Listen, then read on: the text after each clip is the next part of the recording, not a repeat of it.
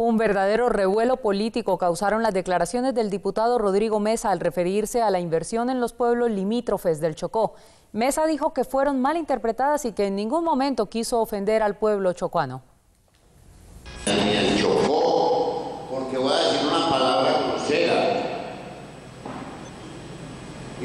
fea que uno le mete al Chocó es como meter un perfume a un pollo.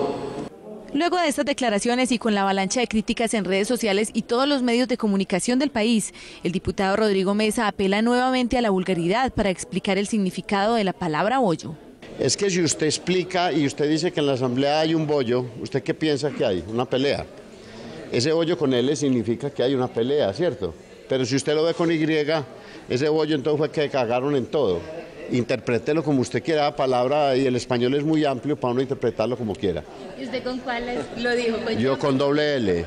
Mesa sigue dándole una interpretación diferente al plan de desarrollo de Antioquia la más educada, pese a las explicaciones del gobernador Sergio Fajardo. Toda la vida se ha dicho que la plata que se mete en el Chocó se ha perdido. Toda la vida. Dígame alguno de ustedes periodistas cuál no dicen lo mismo.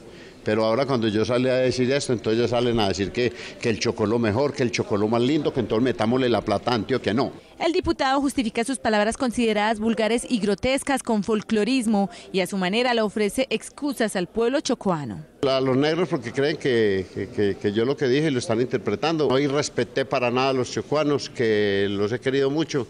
Las palabras del hombre más antiguo en la Asamblea Departamental de Antioquia causaron indignación en todo el país.